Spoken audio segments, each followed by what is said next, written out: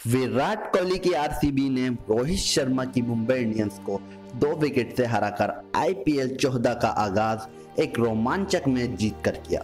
Mumbai Indians ने 2013 से लगातार अपना पहला मैच हारने के रिकॉर्ड को भी बरकरार रखा है। अगर इस मैच के कुछ अहम पहलुओं पर नज़र डालें तो आखिरकार टॉस विराट कोहली के पक्ष में गिरा और विराट कोहली ने पहले गेंदबाजी का फैसला किया।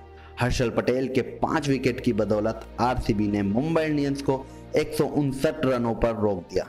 ये मुंबई इंडियंस के खिलाफ किसी भी गेंदबाज का अब तक सबसे शानदार प्रदर्शन है। मुंबई इंडियंस से अपना डेब्यू कर रहे क्रिस लिन ने सबसे ज़्यादा उनचास रनों की पारी खेली। 2018 से आईपीएल में ग्लेन मैक्सवेल के छक्कों का सूखा भी पहले मैच में खत्म हुआ। एक के बाद एक विकेट गिरने से मैच आरसीबी से दूर जा रहा था। फिर क्रिस पर आए mister 360 sixty AB de Villiers AB ने 27 गेंदों पर 48 रन की पारी खेल मैच को मुंबई से बहुत दूर ले गए, जिससे आरसीबी मैच जीतने में कामयाब हुआ। आईपीएल का दूसरा मुकाबला चेन्नई सुपर किंग्स और दिल्ली कैपिटल्स के बीच मुंबई में खेला जाएगा। जहाँ एक तरफ़ युवा जोश तो दूसरी तरफ़ दुनिया के बेहतरीन कप्तान महेंद्र सिंह धोनी का होश है।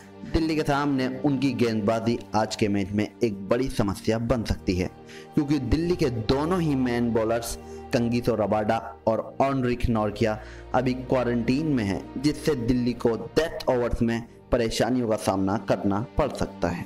अगर बात करें चेन्नई की तो चेन्नई की टीम में ज़्यादातर खिलाड़ी ऐसे हैं जो काफ़ी वक्त से क्रिकेट नहीं खेले हैं, जिससे कि चेन्नई की टीम को अपनी ले पाने में टाइम लग सकता है। दोनों ही टीमों की प्रोबेबल इलेवन की बात करें तो चेन्नई सुपर किंग्स की टीम में कप्तान Dhoni, Ambati Rayudu, Suresh Raina, Faf du Plessis, Moeen Ali, Sam Curran Ravindra Jadeja, Krishnappa Gowtham, Dwayne Bravo, Deepak Chahar और शार्दुल ठाकुर की बात करें तो कप्तान Rishabh Pant, Shikhar Dhawan, Prithvi Shaw, Steve Smith, Shimron Hetmyer, Marcus Stoinis, Chris Woakes, Ravichandran Ashwin, Amit Mishra, Ishant Sharma, Umesh Yadav. अगर आपको लगता है कि कोई दूसरा खिलाड़ी इस टीम का हिस्सा बन सकता है तो हमें कमेंट बॉक्स में ज़रूर बताएँ। बाकी खबरों के लिए एस न्यूज़ इंडिया को सब्सक्राइब करना ना भूलें।